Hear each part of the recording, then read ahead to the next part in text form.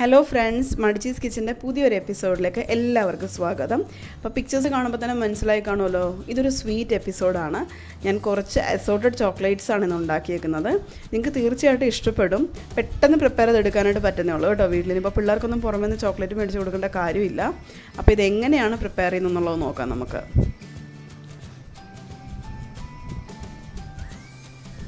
അപ്പം ഞാനിവിടെ മോഡിന്റെ കോമ്പൗണ്ടാണ് എടുത്ത് വെച്ചിരിക്കുന്നത്. ഡാർക്ക് കോമ്പൗണ്ട് എടുത്തിട്ടുണ്ട്. വൈറ്റ് കോമ്പൗണ്ടും എടുത്തിട്ടുണ്ട് മിൽക്ക് കോമ്പൗണ്ടും എടുത്തിട്ടുണ്ട്. നാനൂറ് ഗ്രാമിന്റെ പാക്കാണ് ഞാൻ മേടിച്ചേക്കുന്നത്. ഇത് മൂന്നെണ്ണത്തിനും കൂടെ ഏകദേശം മുന്നൂറ്റി മുപ്പത് രൂപ എടുത്ത് എനിക്ക് ആയിട്ടുള്ളൂ. പക്ഷേ ഇത് മൂന്നും വെച്ചിട്ട് നമുക്ക് ഏകദേശം ഒരു ഒന്നേകാൽ കിലോളം ചോക്ലേറ്റ് ഉണ്ടാക്കാവുന്നതാണ്. അതായത് ഒരു ആയിരത്തി ഇരുന്നൂറ് രൂപയ്ക്ക് മുകളിൽ വില വരുന്ന ചോക്ലേറ്റ് ഉണ്ടാക്കാവുന്നതാണ്. ഞാൻ ഞാനിതിന്റെ പകുതി എടുത്തിട്ടുള്ളൂ. നാനൂറ് ഗ്രാമിന്റെ പകുതി ചോക്ലേറ്റ് ഞാൻ എടുത്തിട്ടുള്ളൂ. അതിൽ ഡാർക്ക് ചോ ഡാർക്ക് കോമ്പൗണ്ടും വൈറ്റ് കോമ്പൗണ്ടും മിൽക്ക് കോമ്പൗണ്ടും ഞാൻ മൂന്നും കട്ട് ചെയ്ത് ചെറിയ പീസസ് ആക്കി വെച്ചിട്ടുണ്ട്.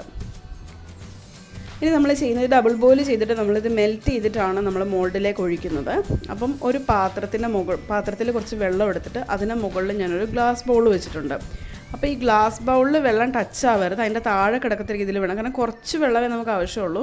കുറച്ച് ചൂട് തട്ടുമ്പോൾ തന്നെ ഇത് പെട്ടെന്ന് മെൽറ്റാവും ഫ്ലെയിം ഒന്നും പക്ഷേ ഹൈ ഫ്ലെയിം ഇടേണ്ട കാര്യമില്ല കേട്ടോ. ഇതിൽ ഏറ്റവും കൂടുതൽ ശ്രദ്ധിക്കേണ്ട കാര്യം ഈ ചോക്ലേറ്റ് മെൽറ്റ് ചെയ്യുന്നതാണ്. ഞാൻ തന്നെ ഒരു നാലഞ്ച് പ്രാവശ്യത്തോളം ചെയ്തിട്ടാണ് ഇതൊന്ന് ശരിക്കും ഇതിന്റെ ടെക്നിക്ക് ഒന്ന് മനസ്സിലായിരിക്കുന്നത് അപ്പോൾ നമുക്ക് ഫസ്റ്റ് ഡാർക്ക് ചോക്ലേറ്റ് അങ്ങ് മെൽറ്റ് ചെയ്യാം. അപ്പോൾ ഞാൻ ആ എടുത്ത് വെച്ചിരുന്ന ഒരു two hundred gram dark chocolate ഞാൻ ഈ ബൗളിലേക്ക് ഇട്ട് കൊടുക്കുവാണ്. പിന്നെ ഈ ചോക്ലേറ്റ് ഉണ്ടല്ലോ ശരിക്കും മെൽറ്റ് ആവുന്നത് എങ്ങനെയാണെന്ന് വെച്ച് കഴിഞ്ഞാൽ ഇതിലൊന്ന് ചൂട് പിടിച്ച് കഴിഞ്ഞ ശേഷം നമ്മളത് തന്നെ മെൽറ്റ് ആവുമെന്ന് പറഞ്ഞ് വെച്ചിട്ട് പോകരുത്. ഇളക്കിക്കൊണ്ടിരിക്കണം. അപ്പോഴേ ഇത് മെൽറ്റ് ആവത്തുള്ളൂ. പിന്നെ നമ്മൾ തീ ഓഫ് ചെയ്ത് കഴിഞ്ഞാലും ആ ചോക്ലേറ്റിന്റെ ഉള്ള ചൂടിൽ തന്നെ ഇത് ഇരുന്ന് അത് പിന്നെയും പിന്നെയും മെൽറ്റാവും. നമ്മൾ മോൾഡിലൊക്കെ ഒഴിക്കുന്ന സമയത്ത് കുറച്ച് കട്ടിയായിട്ട് ഇരുന്ന് കഴിഞ്ഞ് കഴിഞ്ഞാലും മോൾഡിൽ ഒഴിച്ചു കഴിഞ്ഞ ശേഷം പിന്നെ അത് ലൂസായിട്ട് കിടക്കുന്നതാണ് അപ്പോൾ അതാണ് ചോക്ലേറ്റിന്റെ ഒരു ടെക്നിക്ക് എന്ന് പറയുന്നത്. പിന്നെ വേറൊരു കാര്യം ശ്രദ്ധിക്കണമെന്ന് വെച്ച് കഴിഞ്ഞാൽ നമ്മൾ ചോക്ലേറ്റ് ഇടുന്ന പാത്രത്തിൽ ഒട്ടും നനവ് പാടില്ല. ചോക്ലേറ്റിന്റെ എനിമയാണ് വെള്ളം. ഓക്കെ അപ്പോൾ അത് രണ്ടിനെ അടുപ്പിക്കരുത്.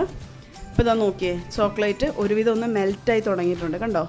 സൈഡ് വശമൊക്കെ മെൽറ്റായി തുടങ്ങിയിരിക്കുന്നത് ഇപ്പോൾ ഇളക്കി കൊടുക്കണ്ട. കുറച്ചുകൂടെ ഒന്ന് മെൽറ്റ് വരെ നമുക്ക് ഇളക്കി കൊടുക്കാം.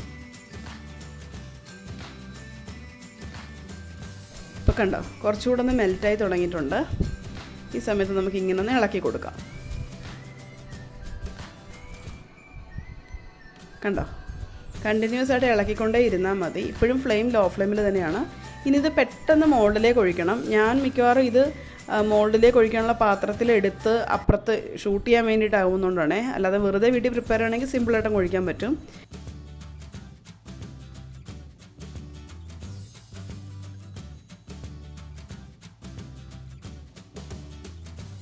ഇത് മോൾഡിലേക്ക് എടുത്തുകൊണ്ട് വരുന്ന സമയം കൊണ്ട് കണ്ടോ? അത് കുറച്ച് കട്ടയായി. പക്ഷേ ഇത് മോൾഡിലേക്ക് ഒഴിച്ച് കഴിയുമ്പോഴത്തേക്കിനി ഒന്നും കൂടെ ലൂസാവും കാരണം ആ ചൂട് ഇങ്ങനെ ഇരുന്നിരുന്നാണ് ഇറങ്ങുന്നത്. തൽക്കാലം ഞാനിപ്പോൾ ഒരു സ്പൂൺ കൊണ്ടാണ് ഒഴിച്ചു കൊടുക്കുന്നത്. സിലിക്കോൺ മോഡിലേക്ക് ഒഴിക്കുന്നത്. ഇതിൽ തന്നെ ഒഴിക്കണമെന്നൊന്നുമില്ല കേട്ടോ. ഞാൻ കാണാനായിട്ട് കുറച്ച് ഭംഗിക്ക് വേണ്ടിയിട്ട് പിന്നെ രണ്ട് മൂന്ന് ലെയറൊക്കെ ആയിട്ട് സെറ്റ് ചെയ്യാനുള്ള കുറച്ച് പ്ലാൻ ഉണ്ട്. അതിന് വേണ്ടിയിട്ട് ഈ ഒരു മോൾഡ് എടുത്തതേ ഉള്ളൂ. നമുക്കിത് വേണമെങ്കിൽ നമ്മുടെ നോർമൽ ഐസ് ട്രേയിൽ ചെയ്യാവുന്നതാണ്. ഇനി ഐസ് ട്രേയും ഇല്ലയെന്ന് വെച്ച് കഴിഞ്ഞാൽ വെറുതെ ഏതെങ്കിലും ഒരു പാത്രം ഒരു സ്ക്വയർ ഷേപ്പിലുള്ള പാത്രം എടുത്തിട്ട് അതിലേക്ക് ഇത് കംപ്ലീറ്റ് ഒന്നിച്ചങ്ങ് ഒഴിച്ചു കൊടുത്തതിന് ശേഷം ഒരു രണ്ട് മിനിറ്റ് അല്ലെങ്കിൽ മൂന്ന് മിനിറ്റൊക്കെ ഫ്രിഡ്ജിൽ ഒന്നിരുന്ന് സെറ്റായി കഴിഞ്ഞിട്ട് ചെറുതായിട്ടൊന്ന് വരഞ്ഞ് വരഞ്ഞിട്ട് കൊടുത്താൽ മതി. നമുക്ക് കട്ട് ചെയ്തെടുക്കാനായിട്ട് പറ്റും. അപ്പം ഈ രണ്ടാമത്തെ ഒരു റോയിൽ ഞാൻ ഡബിൾ ലെയർ ആണ് ചെയ്യാൻ ഉദ്ദേശിക്കുന്നത് ചോക്ലേറ്റ്. അപ്പോൾ അതുകൊണ്ട് ഞാൻ പകുതി ഒഴിച്ച് കൊടുക്കുന്നുള്ളൂ. എന്നിട്ട് ഇതിന് ബാക്കി മുകളിൽ ഞാൻ വൈറ്റ് ചോക്ലേറ്റ് ഒഴിക്കാനായിട്ടാണ് പ്ലാൻ ചെയ്യുന്നത്. അപ്പോൾ അതുകൊണ്ട് ഞാൻ അതിന്റെ അകത്ത് പകുതി പോർഷനെ ഫില്ല് ചെയ്യുന്നുള്ളൂ. പിന്നെ ഇതിനിടയ്ക്ക് ആൽമണ്ട്സോ അല്ലെങ്കിൽ ഡേറ്റ്സോ നട്ട്സോ ഒക്കെ വേണ്ടവർക്ക് അത് പ്രിപ്പയർ ചെയ്യാം. അപ്പോൾ അതിന്റെ അടുത്ത് കുറച്ച് കാഷ്യൂ നട്ട്സ് ഉള്ളത് കാരണം ഒന്നോ രണ്ടോ ലെയർ ഞാൻ കുറച്ച് കാഷ്യൂ നട്ട്സ് ഇട്ടും കൂടെ പ്രിപ്പയർ ചെയ്യുന്നുണ്ട്. അപ്പം കയ്യിലിരിക്കുന്ന മൊത്തം മോഡൽ ഞാനങ്ങ് ചെയ്ത് വെക്കുവാണ് കേട്ടോ. എന്റെ അടുത്ത് ആകെപ്പാട് ഈ മൂന്ന് ടൈപ്പ് സിലിക്കോൺ മോൾഡേ ഉള്ളൂ. അത് തന്നെ മതി ധാരാളമാണ്. അപ്പോൾ ഇതിലേക്കങ്ങ് ഒഴിക്കുവാണ്. പിന്നെ ഈ മോൾഡിലേക്ക് ഒഴിക്കുന്ന സമയത്ത് ഇപ്പോൾ സൈഡിലൊക്കെ ചിലപ്പോൾ വീഴുമായിരിക്കും ഇത് കണ്ടോ കുറച്ച് നേരം കഴിഞ്ഞപ്പോഴത്തേക്ക് അത് തന്നെ മെൽറ്റായി വന്നേക്കുന്നത് കണ്ടോ അതിൽ അതിൽ നിന്ന് തന്നെ എനിക്ക് ഒഴിച്ചു കൊടുക്കാനായിട്ട് പറ്റുന്നുണ്ട്. പക്ഷേ ഇങ്ങനെ ഒഴിക്കുമ്പോഴത്തേക്കും എനിക്കൊരു കോൺഫിഡൻസ് കിട്ടാറില്ല. അതുകൊണ്ടാണ് ഞാൻ എപ്പോഴും സ്പൂൺ വെച്ച് ഒഴിക്കുന്നത്.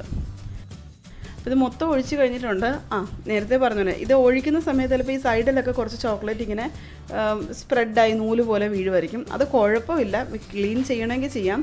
ഇനി ക്ലീൻ ചെയ്തില്ലെങ്കിലും കുഴപ്പമില്ല. അത് സെറ്റായി വരുമ്പോൾ പെട്ടെന്ന് മാറ്റിയെടുക്കാൻ പറ്റും. അപ്പോൾ ഞാൻ ദേ വൈറ്റ് ചോക്ലേറ്റും നേരത്തെ ഡാർക്ക് ചോക്ലേറ്റ് ഉരുക്കിയ പോലെ തന്നെ ഉരുക്കിയിട്ടുണ്ട്. സെയിം മെത്തേഡിൽ എന്നിട്ട് അതും കൂടെ നമുക്കൊന്ന് ഒഴിച്ച് കൊടുക്കാം.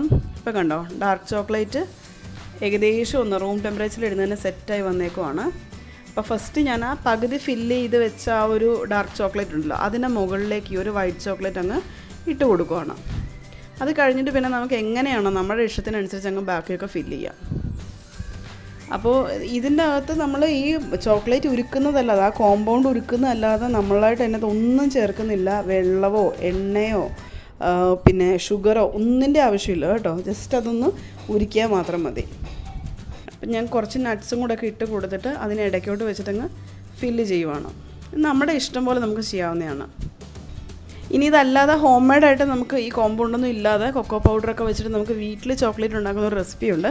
അത് ഞാൻ പിന്നീട് എപ്പോഴെങ്കിലും ചെയ്യാമേ. അപ്പോൾ വൈറ്റ് ചോക്ലേറ്റ് മൊത്തം ഫില്ല് ചെയ്ത് കൊടുത്തിട്ടുണ്ട്.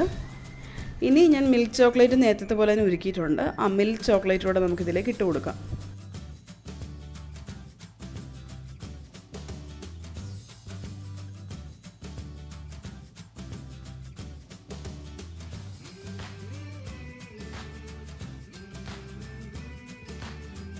കുറച്ച് കാഷ്യൂ നട്ട്സ് ഞാനൊന്ന് ഇട്ട് കൊടുക്കുന്നുണ്ട്. ലെയറിലല്ല സിംപ്ലി മോൾഡിലേക്ക് ആദ്യമേ അങ്ങ് കുറച്ച് കാഷ്യൂ നട്ട്സ് ഇട്ട് കൊടുത്തിട്ട് അതിന് മുകളിലേക്കാണ് ഞാൻ കൂടുതലും മിൽക്ക് ചോക്ലേറ്റ് സെറ്റ് ചെയ്യാനായിട്ട് പോകുന്നത്.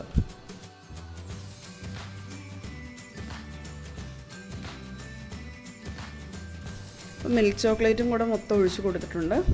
ഇനി ഇത് നമുക്ക് ഫ്രീസറിലല്ല ഫ്രിഡ്ജിൽ വെച്ചിട്ടാണ് സെറ്റ് ചെയ്യേണ്ടത്. ഫ്രിഡ്ജിന്റെ ഓരോരുത്തരുടെ കൂളിംഗ് കപ്പാസിറ്റിയുടെ ആ ഒരു സ്ട്രെങ്ത് അനുസരിച്ചിട്ട് ടൈം വ്യത്യാസപ്പെടാം. പക്ഷേ ഇച്ചിരി സമയം കൂടുതൽ നിന്ന് കഴിഞ്ഞാൽ ഒന്നും പറ്റാൻ പോകുന്നില്ല. കാരണം ഇത് നമ്മൾ നോർമലി അല്ലെങ്കിൽ ചോക്ലേറ്റ്സ് ഫ്രിഡ്ജിൽ തന്നെയാണല്ലോ കീപ്പ് ചെയ്യാറുള്ളത്. അപ്പോൾ ഞാൻ ഏകദേശം ഒരു ഒന്നര മണിക്കൂറിലെ രണ്ട് മണിക്കൂറിനുള്ളിൽ എനിക്ക് കറക്റ്റായിട്ട് സെറ്റ് ചെയ്ത് കിട്ടാറുണ്ട്. അപ്പോൾ ഇത് നമുക്കിനി നേരെ എടുത്ത് ഫ്രിഡ്ജിലേക്ക് വെക്കാം. നമ്മുടെ ചോക്ലേറ്റ് മൊത്തം സെറ്റായി വന്നിട്ടുണ്ട്. ഇത് നമുക്കിനി അൺമോൾഡ് ചെയ്യാം. അൺമോൾഡ് ചെയ്യുന്നതാണ് കേട്ടോ എനിക്ക് ഈ ചോക്ലേറ്റ് ഉണ്ടാക്കുന്നതിന്റെ അകത്ത് ഏറ്റവും ഇഷ്ടമുള്ള കാര്യം. ആ കൈ വന്നേക്കുന്നത് എന്റെ ആണേ. അൺമോൾഡ് ചെയ്ത് കഴിഞ്ഞ് കഴിഞ്ഞാൽ ഭയങ്കര ബുദ്ധിമുട്ടാണ്. കാരണം ഇങ്ങനെയുള്ള കാര്യങ്ങളൊക്കെ കൊച്ചിന്റെ കൂടെ വന്നിട്ട് ചെയ്യാനായിട്ട് ഭയങ്കര ബുദ്ധിമുട്ടാണ് ആദ്യത്തെ അവൾക്ക് തന്നെ കൊടുത്തു. പിള്ളേരുടെ മുന്നിലൊക്കെ വെച്ചിട്ട് ചോക്ലേറ്റ് ഉണ്ടാക്കാന്ന് പറഞ്ഞു കഴിഞ്ഞാൽ കുറച്ച് ബുദ്ധിമുട്ടാണ്. അതും കൊച്ചു പിള്ളേരുടെ മുന്നിൽ വെച്ചിട്ട്. ഇത് നോക്കിയേ. ഇത് നമ്മുടെ മിൽക്ക് ചോക്ലേറ്റ് ആണേ. നമ്മളത് മൊത്തം അൺമോൾഡ് ചെയ്യാം.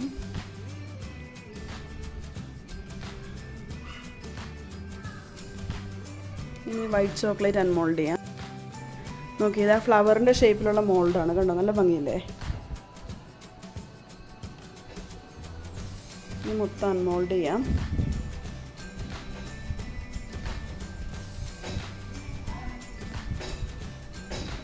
ഇനി ഇത് ഇങ്ങനെ തന്നെ കീപ്പ് ചെയ്താൽ മതി വേണമെങ്കിൽ. അപ്പോൾ എന്റെ അടുത്ത് ചോക്ലേറ്റ് റാപ്പ് ചെയ്യുന്ന പേപ്പറുണ്ട് അപ്പോൾ അതുകൊണ്ട് ഞാൻ അതിലേക്കങ്ങ് റാപ്പ് ചെയ്തിട്ട് ഇങ്ങനെ സൂക്ഷിക്കുവാണ്.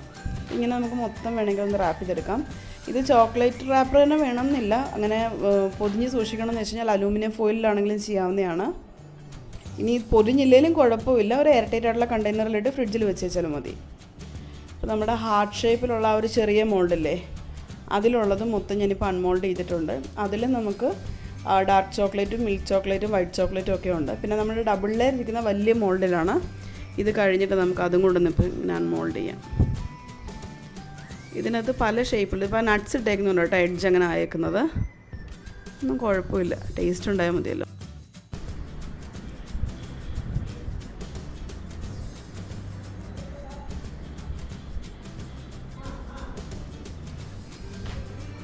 വൈറ്റ് ചോക്ലേറ്റ് എല്ലാം ആയിട്ടുണ്ട്. കണ്ടോ?